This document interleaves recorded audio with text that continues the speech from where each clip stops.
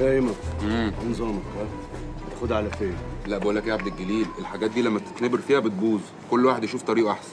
ماشي يا عم في إيه؟ يا الله طب هتاخدها على كام؟ 2000 دولار.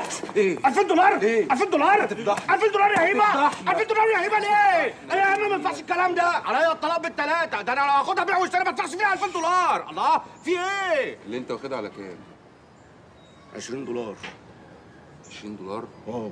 بقول لك يا عبد الجليل حل عني الله يكرمك أنا مش ناقصك. حل عني يا خلاص- أخويا. خلاص يا أخويا في إيه مالك كده؟ ما تتعصبش عليا الله. أنا عارف إن أنت راجل مستريح وابن ناس ومستريح مزيا. زين آه. إيه. بس يعني نعم أنا عيل كفحتاجي ويعني والدنيا كلت مني وشربت كده وادعكت فيها. عشان كده لما ربنا يديني ما افتريش لا مؤاخذة.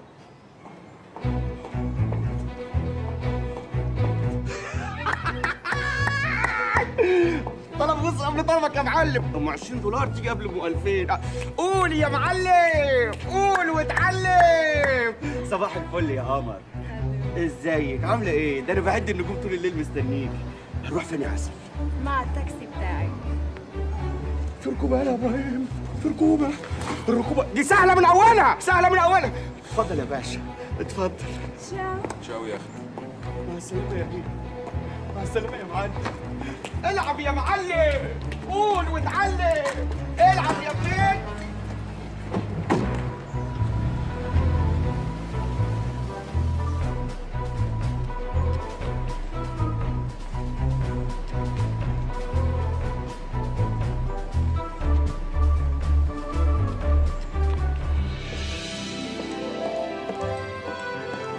انت جاية دلوقتي ده ام 20 وصلت من ساعة. نعم. لا مفيش. فين التاكس آه مفيش. مفيش؟ يا ابن المحظوظة يا عبد الجليل. تاكس يلا يا أخي.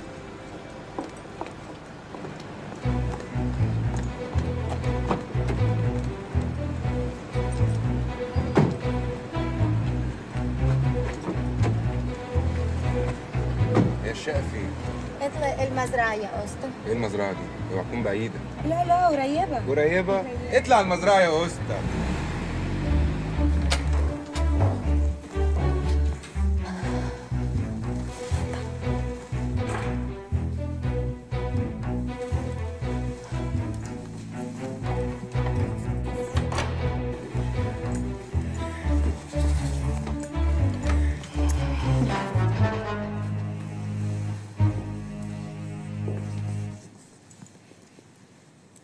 مين الأجنة دي؟ هيدي صاحبة الشقة آه أمال مالها مكتومة كده ليه؟ ما تهوي المطرح كده عشان النفس يبقى رايح جاي أوكي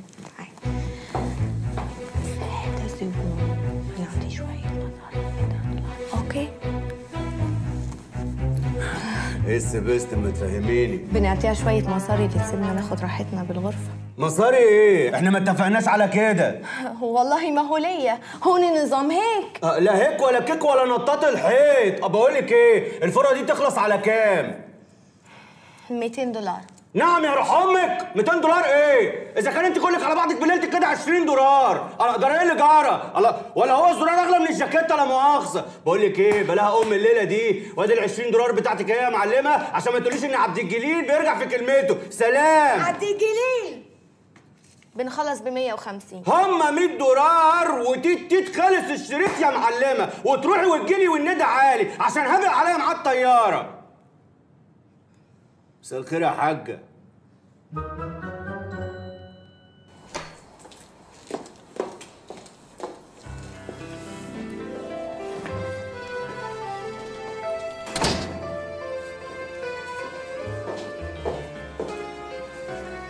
إيه يا ماشا الجمال ده؟ ده صاحبتك دي باين عليها صاحبة مزاج قوي.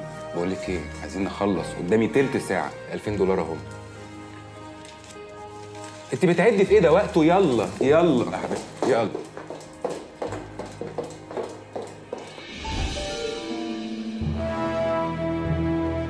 أنا قايل الساعة 3 نبقى موجودين كلنا في اللوبي تحت. ده استهتار أنا لما ادي أمر لازم يتنفذ.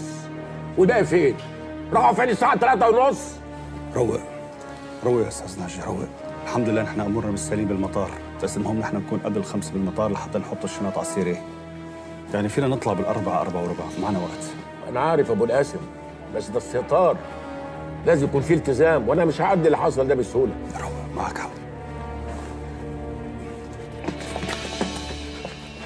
أنا ابن كلب ابن 60 كلب يا باشا. بس أبوس إيدك ما تقلب عليا وأنا جاهز. كنت فين؟ أنا أنا أنا كنت كنت كنت- مش مهم أنا كنت فين. المهم نلحق المطار والطيارة وبعد كده ابقى اديني ب 30 جزمه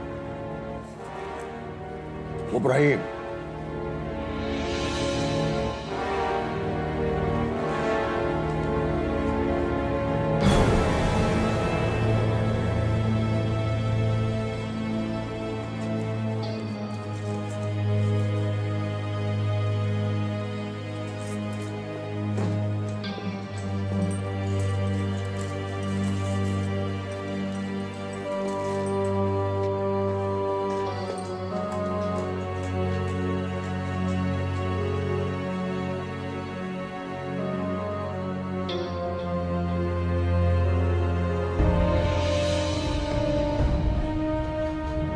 الواد فين يا عبد الجليل؟ ده يكون جرى له حاجة. والله العظيم ما أعرف يا باشا. أنا سبته في الشارع وقال لي ده رايح مشوار. وبعدين؟ وبعدين يا أستاذ ناجي أنتوا هيك ما راح تسافروا؟ لأنه الطيارة ما راح تستناكم. وإذا ما سافرتوا بهي الطيارة الله أعلم إمتى ممكن نرتب لكم سفرة ثانية أنت بتعرف مسألة المطار وما مطار لها تربيطات كثيره وأنت بتعرفها. أنا ما أقدرش أسيب الواد إبراهيم غير ما اطمن هو فين. أنا مسؤول عنهم كلهم. وزي ما جينا مع بعض لازم نرجع مع بعض. لا.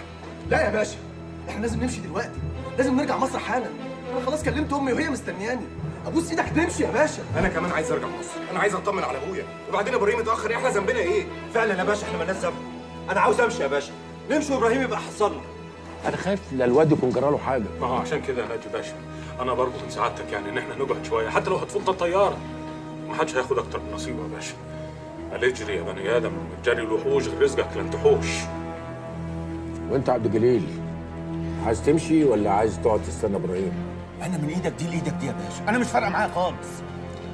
مفيش طيارة تانية يا أبو القاسم؟ للأسف يا أستاذ ناجي مفيش. بعدين الترتيبات اللي عملت لك اياها لحتى تكون اليوم بالقاهرة؟ بدها وقت لحتى تصير بدي وقتي. خلاص يبقى خلينا. إحنا لا يمكن نمشي وإحنا ناقصنا واحد. أوكي يا أستاذ. معناها أعطيني يومين ثلاثة لحتى أرتب كل شيء مرة ثانية وأنا بحكي معك.